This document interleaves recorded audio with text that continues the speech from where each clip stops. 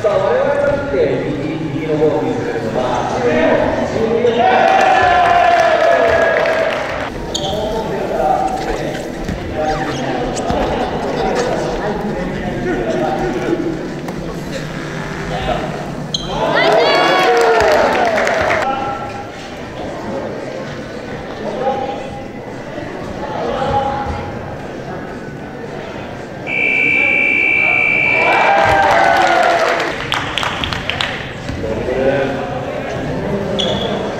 Obrigado.